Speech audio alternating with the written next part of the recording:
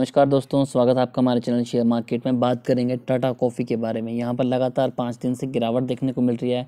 आज की बात करें तब भी हमें ढाई परसेंट की यहाँ पर नेगेटिव ट्रेंड देखने को मिला है। और बात करें पाँच दिन की तो वन पॉइंट थ्री ज़ीरो की गिरावट है।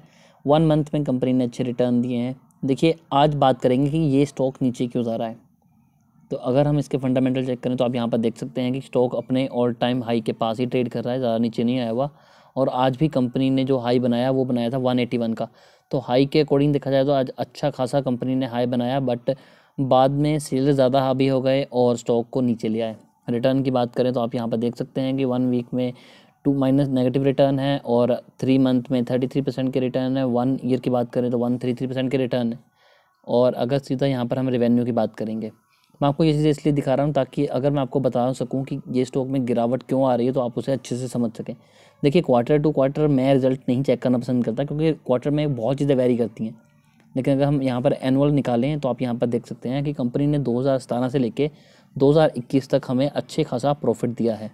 तो ये पॉजिटिव साइन है कि कंपनी हमें प्रॉफिट दे रही है लगातार। और अगर प्रमोटर होल्डिंग देखें तो अच्छी खासी है और यहाँ पर सबसे बड़ी बात है डोमेस्टिक इन्वेस्टर की। डोमेस्टिक इन्वेस्टर्स ने यहाँ पर अच्छा खासा पैसा लगाया हुआ है। अब बात करते हैं स्टॉक गिर क्यों रहा है। देखिए, अगर आप इसका मैक्स चार्ट देखें तो आप देख सकते हैं कि पहले यहाँ पर था, उसके बाद यहाँ पर डाउनफॉल देखने को मिला, फिर अप ट्रेंड हुआ, फिर डाउनफॉल हुआ। अब ये वापस 2020 के बाद यहाँ पर तकरीबन अपने ऑल टाइम हाई के पास ट्रेड कर रहा है। तो यहाँ पर हमें ये चीज़ समझनी चाहिए कि अगर स्टॉक ने हमें पिछले कुछ सालों में, अगर बात करें सिर्फ़ एक साल की तो यहाँ पर एक सौ बत्तीस परसेंट के रिटर्न दिए हैं और पाँच साल में यहाँ पर एक सौ परसेंट के पास। तो कंपनी ने अगर इतने अच्छे रिटर्न दिए हैं पिछले कुछ टाइम में तो उसने अब सांस तो लेनी थी। कंसोलिडेट पीरियड भी जाना था और जैसे कि यहाँ पर बात करें तो छः मंथ में ही सिक्सटी टू परसेंट के रिटर्न है। इतने स्टॉक भाग चुका है कि उसे अब थोड़ा सा यहाँ पर ब्रेक भी चाहिए और ये इसका शायद रेजिस्टेंस लेवल भी बन सकता है। तो आपको यहाँ पर क्या करना चाहिए? देखिए, अगर स्टॉक अच्छा नहीं होता तो मैं आपको यहाँ से एडवाइस देता कि आप सेल करके बाहर आ जाएँ, लेकिन स्टॉक बहुत ज़्यादा फंडामेंटली स्ट्रॉग है। अब इसे एक एग्जांपल के साथ समझिए। जैसे कि इसकी मैनेजमेंट आपने जानते हैं कि रतन टाटा की जितनी भी कंपनीज़ हैं, वो फ़ेमस हैं उनके लिए। क्योंकि रतन टाटा के अंडर जितनी भी कंपनीज़ हैं, उनकी मैनेजमेंट ए क्लास है। टाटा सन्स की बात करें तो वहाँ पर बोर्ड मीटिंग में हमेशा यही चीज़ का कंसीडर किया जाता है कि अपने जितने भी एम्प्लॉयज़ हैं, उनका ध्यान रखा जाए, जो उनके कंज्यूमर्स हैं, उनका ध्यान रखा जाए। इनफैक्ट अगर हम ये भी बात करें नॉर्मल रतन टाटा जी की बात करें तो टाटा ने अपनी कंपनी के थर्टी थ्री लैख एम्प्लॉयज़ को वैक्सीनेशन दिया।